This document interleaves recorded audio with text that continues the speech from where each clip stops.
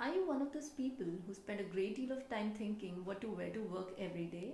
If yes, this video is just for you. And also, please consider subscribing.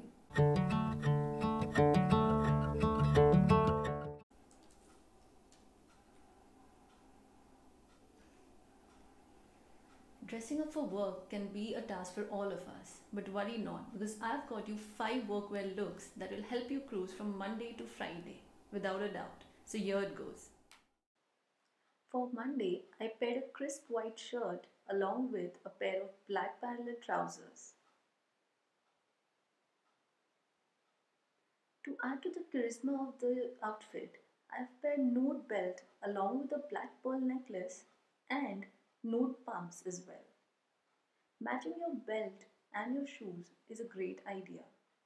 Don't forget your watch guys. It's Tuesday and I thought of going a bit minimalistic. The black pearl necklace remains because it complements my black parallel trousers that I used in the look previously. I went ahead with Aztec print crewneck sweater and to complete the look, I have picked a pair of suede chunky heels which are tan in color just to break the monotony of the look. Delicate bracelets are my go-to since they go well with any kind of look, be it casual, formal or traditional. So it's Wednesday. Let's say I have a business meeting to attend. So why not throw a white blazer to play it up a little bit? I've paired it with a polka dot t-shirt that has an interesting bow tie detail to it. Also, the trousers here are more of balloon in nature. They are mid-rise and ankle length. Now let's add a sling to the look. I got this sling from Hidesign. It has reptile skin and is maroonish purple in color. Please note it matches my pumps.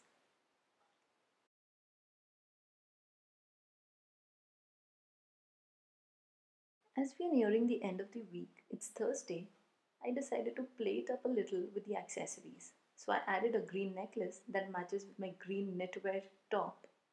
And for the trousers, I went along with a pair of navy blue pants which are tailored and have a little bit of detailing towards the belt.